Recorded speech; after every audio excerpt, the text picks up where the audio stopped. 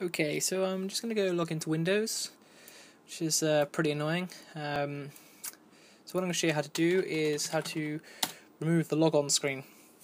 Um, you're going to have to log in to do so. And uh, to have to bear in mind if you've got multiple user accounts on your PC, you can only set one for automatic login. If you want to log into the others, you're going to have to click up the top here, sign out, and then sign in as a new user. Um, so what we need to do is type in a command which is netplwiz. Um, so if you hold, go to uh, run and type it in, so it's netplwiz, like so. You can also probably do this from the Windows screen uh, by typing it in just straight into the start menu um, and it will bring it up netplwiz and hit enter. Um, it's going to bring up a similar screen to be seen in Windows 7 um, whereby it says users must enter a username and password to use this computer.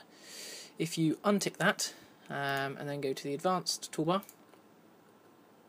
um, it's going to automatically log people on.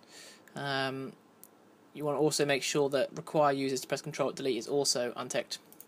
Um, if you apply that, it's going to ask you for the credentials of the user it wants to sign in automatically with. You can, if you don't have a password, just leave it blank. In my instance, is I have a password.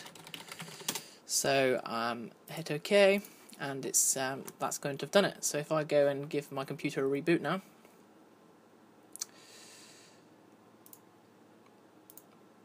as so.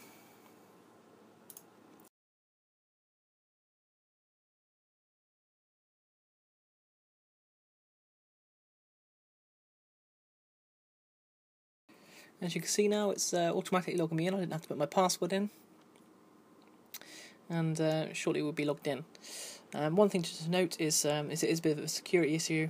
Um, if people have physical access to your PC, they're going to be able to access your account without knowing your